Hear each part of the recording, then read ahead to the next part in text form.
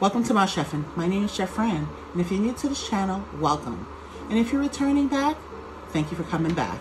But first, please don't forget to hit the subscribe button and like button so you can have fresh new content from me every single week. Let's go to warm weather together and make a pineapple mango, or you could say mango pineapple, whichever you like, smoothie. Come make it with me. So we've added some of our almond milk in here. So now we're going to add our pineapples. And we have some mangoes in here. We're going to add some honey for a little sweetness. I'm adding some protein collagen powder to here and we're going to add a little bit of oatmeal for thickness and as well as for some fiber. About two and a half spoons. One, two. Oh, let's make it three. And some ice that I have. Frozen mangoes, A, C, E, K, and folate. Frozen pineapples, B6, C, copper, folate, manganese, potassium, and thiamine.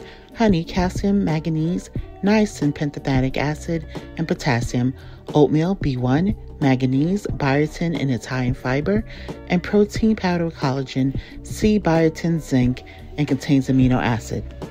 And now we're going to make our smoothie.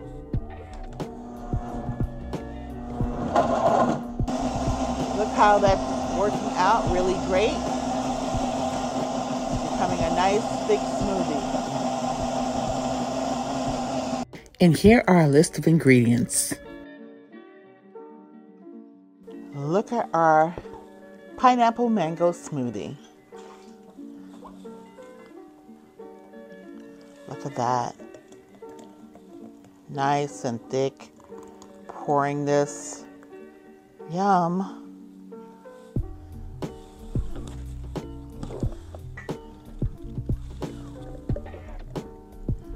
Mm-hmm. Yummy, yummy, yummy. Inflation continues to put considerable strains on grocery budgets, especially among lower income households.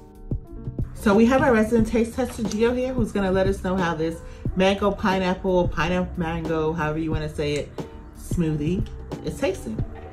Well, let's see. Well, you definitely taste the mango in there, and the pineapple sort of balances it out, so it's not too sweet, but it's also pretty sweet. It's also very refreshing with the oatmeal. Makes it pretty thick, which is also nice. Gio's right. So the oatmeal, we have our nice great dose of fiber in here. We have our vitamin C's from the pineapple as well as the mango. So let me have a taste.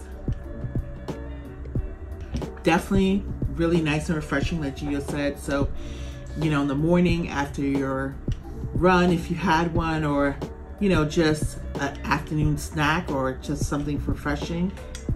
This is a really nice treat to make. Um, always remember that when you use frozen fruit it does kind of lose some of its natural sweetness from fresh from the fresh fruit because of the ice that it, you know has formed around it. So it kind of tones down some of the sweetness.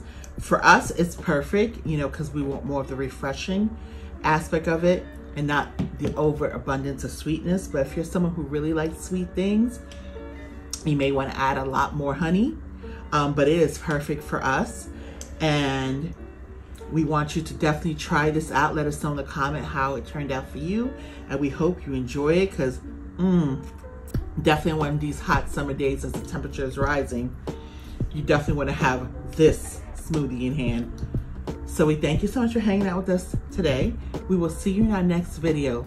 And remember, most of all, be good to yourself and God bless you.